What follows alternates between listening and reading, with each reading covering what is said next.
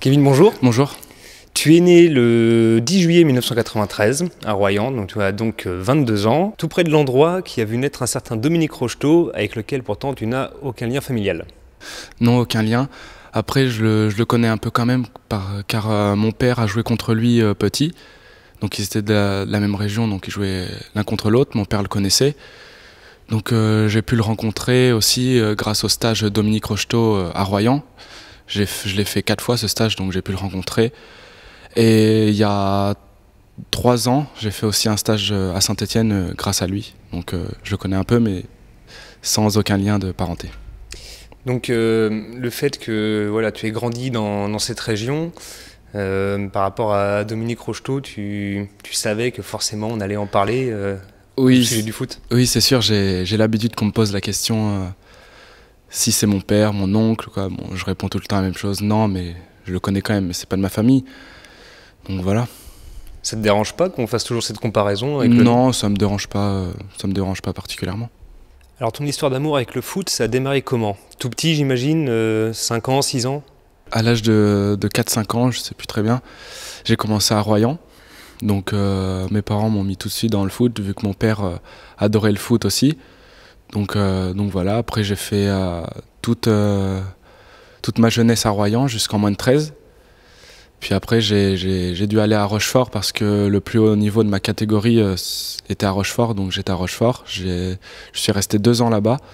Et après, euh, je suis arrivé ici, euh, à Niort. Royan, Rochefort, à cet âge-là, ça veut dire que tu as dû être en internat, tu as quitté tes parents, même jeune? Non, je continuais à vivre chez mes parents. Il y avait 30 minutes de route. J'avais trois entraînements par semaine, plus le match le week-end. C'est mon père qui faisait tous les déplacements, aller-retour. Et euh, avec euh, l'aide d'un autre parent, parce qu'il y, en a, il y a un autre joueur qui venait de Royan aussi, donc, on, donc on, chacun à leur tour, euh, nos parents nous emmenaient. Et donc après Rochefort, tu le disais, tu es arrivé au chamois niortais, c'était à quel âge? C'est à l'âge de 17 ans, 19 première année. D'accord, donc 17-18 ans. Directement centre de formation Ouais, ouais j'ai fait 3 ans de centre de formation et après j'ai signé pro. Quel souvenir tu, regardes, tu gardes de ces débuts au chamois hum, très bon souvenir. C'était tout nouveau pour moi d'être en, en internat déjà, euh, dans, un, dans une chambre avec d'autres euh, avec d'autres joueurs. Donc euh, ça s'est très bien passé. J'ai fait une bonne première année au, Chamois avec 8 buts, je crois. Non, même plus, 12 ou 13 buts. Donc après, je me suis très vite habitué à cette, à cette nouvelle vie, puis ça s'est bien passé.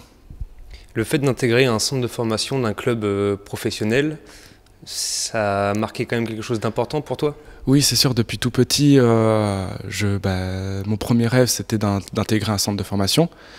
Donc je l'ai fait un petit peu tard, à 17-18 euh, ans, mais mieux, vaut tard que jamais. Donc voilà, euh, c'était mon premier rêve, donc il s'est réalisé. Puis j'ai dû bosser dur pendant trois ans pour réussir à signer pro.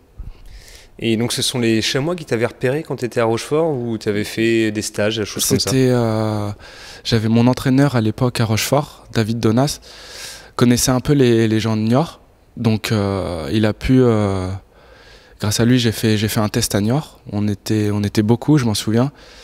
J'avais fait une très, bonne, une très bonne journée de détection et dans la voiture du retour, c'était Mickaël Loré, mon premier entraîneur à Niort m'a appelé et m'a dit que j'étais, j'étais tout de suite pris. Donc euh, c'était un, soulagement et, une fierté de pouvoir intégrer euh, un centre de formation. Et donc il y a maintenant deux ans, tu as signé euh, ton premier contrat professionnel ici au Chamonix TFC. Quel souvenir tu gardes de ça? Bah, Forcément mon plus beau souvenir. je, m'en souviens, Karim Fradin et, Joël Coulet, le président, m'ont, appelé dans, leur bureau avec mes parents. Donc au début, je, je me demandais ce que, pourquoi c'était. Et, euh, et la première chose euh, qu'ils ont dit, c'est bah, on aimerait faire signer euh, Kevin professionnel. Donc bah, mes parents étaient bah, super contents, super fiers de moi. Donc, puis je, le fais, je fais tout ça aussi pour mes parents, car, car sans eux, j'aurais jamais réussi.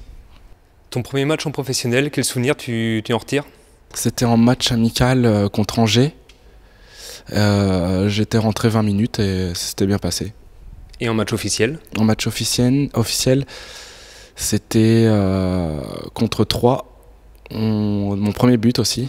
Donc, euh, donc ouais, c'était contre 3, le premier match de championnat il y a deux ans maintenant. Un grand moment, forcément. En plus, tu étais buteur pour le 1-1, il me semble. Pour le 1-0. Après, on se fait rattraper à la, à la 93e. Ça a gâché un peu, mais, mais j'étais content d'avoir marqué, surtout pour mes premières minutes. Tu ressens quoi à ce moment-là Même euh, le fait d'entrer sur le terrain Je réalise pas vraiment. Euh, sur le moment où je marque, je réalise pas vraiment. Parce que j'ai tenté ma chance et ça m'a réussi. Et j'ai réalisé qu'après que bah, j'avais marqué pour mes premières minutes. Quoi, donc c'était génial. Je savais même pas quoi faire comme célébration. Donc voilà, c'était un super moment. Donc en dehors du foot, quand tu es arrivé à Niort, euh, au centre de formation, est-ce que tu as continué tes études? Oui, j'ai euh, à Royan j'étais en, première S. Donc en venant à Niort, j'ai dû, euh, j'ai dû refaire un, bac pro commerce.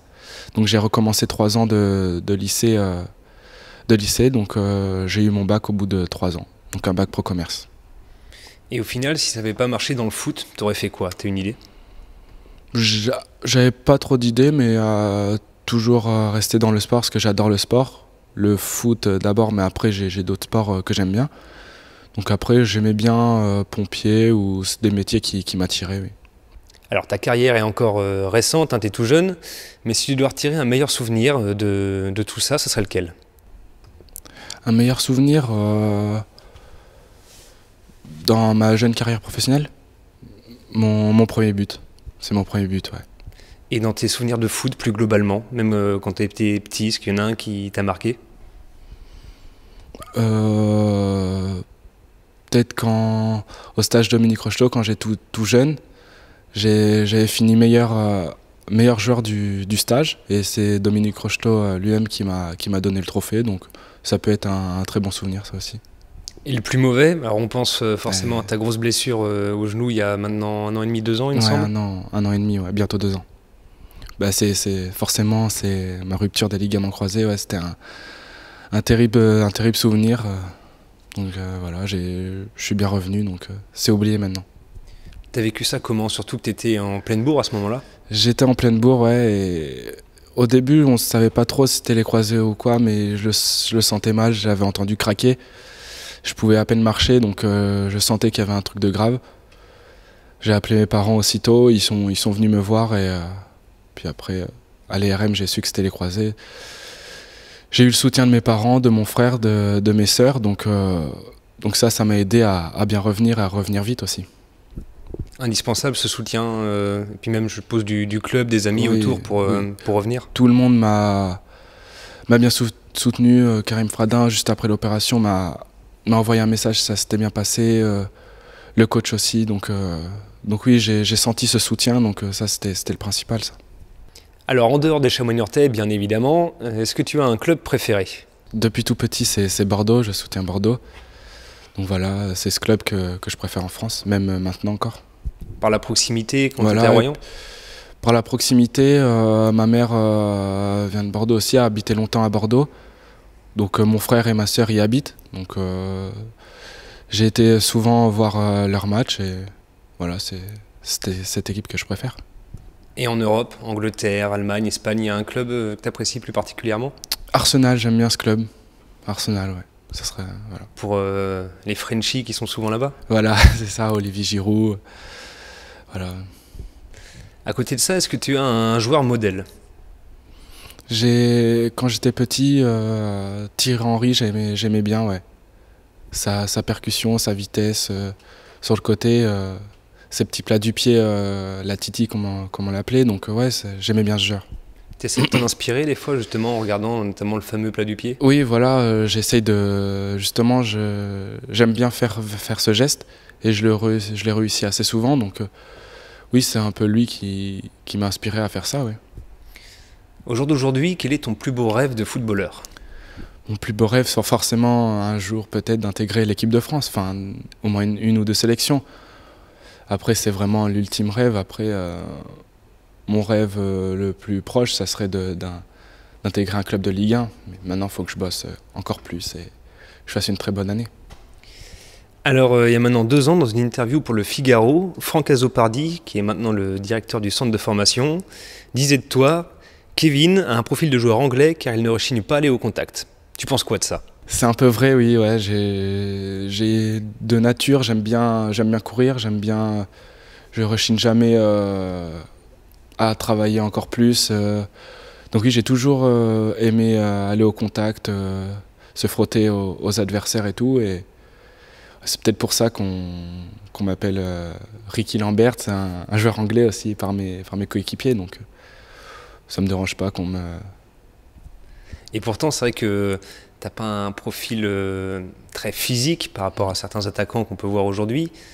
Ça te fait pas peur T'hésites pas à aller au contact avec des, défenseurs centraux costauds Non, non, non, j'ai pas peur. Bah, avec euh, Fred Bong, euh, cette année, c'est quand même une belle, une belle bête. Il est assez costaud, donc pas peur d'aller au contact contre lui ou quoi. La première année, mes débuts professionnels, il y avait Nicolas Palois et Djibril Konaté, donc deux sacrés gaillards.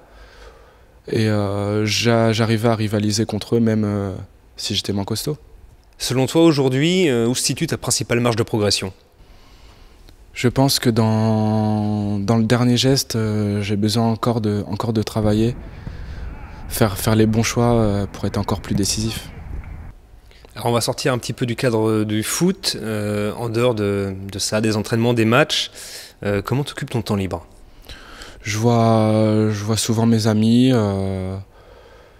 boire un verre euh, avec des potes ou aller au ciné. Euh. une vie de, de, de, jeune homme normal, quoi. Enfin, T'as des passions euh, extra foot? J'adore le, le, tennis.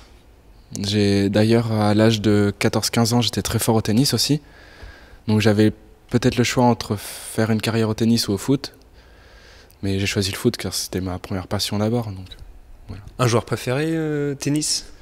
Ah, Rafa, Rafa, Rafa Nadal, j'aime bien, Pour sa combativité, un peu comme moi sur le terrain, quoi. Dans l'état d'esprit. Dans l'état d'esprit, ouais. Alors, question un petit peu spéciale. Euh, Kevin Rocheteau, plutôt peinard ou plutôt fêtard?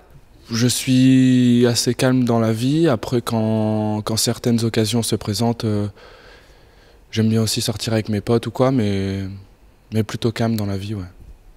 Alors tu le disais, tu aimes beaucoup le tennis. Est-ce qu'il y a d'autres sports aussi à côté de ça, extra foot et tennis, que tu suis?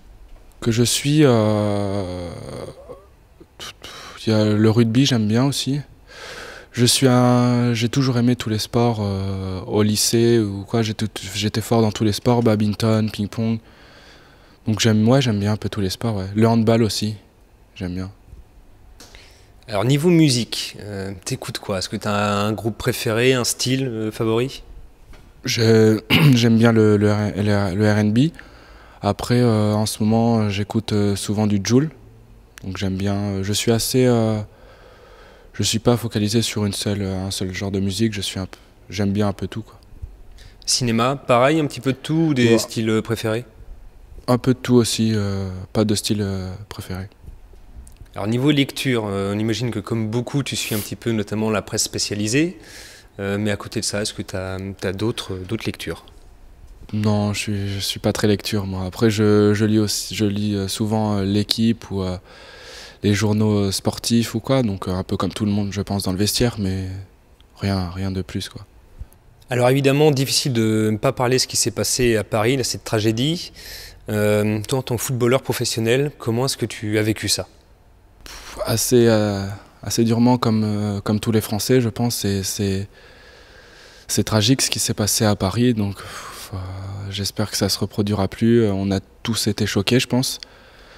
Moi, le premier, euh, quand je regardais le, match de l'équipe de France, j'ai appris ça. J'étais non, c'est pas possible. Et si, il y a eu beaucoup de morts et beaucoup de blessés, donc c'est une tragédie que bah, la France, on va se relever et puis affronter ça. Quand on voit justement qu'il s'est passé ce genre de choses au Stade de France, en tant que footballeur, même si on est entre guillemets cagnard, on se dit que ça peut arriver? C'est sûr, ça s'est passé au Stade de France, donc euh, ça peut arriver euh, partout en France, donc faut. Donc, mais on faut pas non plus vivre dans la peur, faut, faut pas arrêter nos habitudes euh, pour ça, sinon ils auront gagné. Donc, donc voilà, faut, faut surmonter tout ça. Enfin, pour terminer, Kevin, euh, est-ce que tu as un mot de la fin, un message à faire passer? Je remercie euh, le président Karim Fradin, les coachs pour, euh, pour m'avoir fait confiance et pour m'avoir fait signer mon premier contrat pro, parce que c'était mon rêve. Donc, donc voilà, et pour mes parents aussi, parce que c'est grâce à eux que j'ai réussi.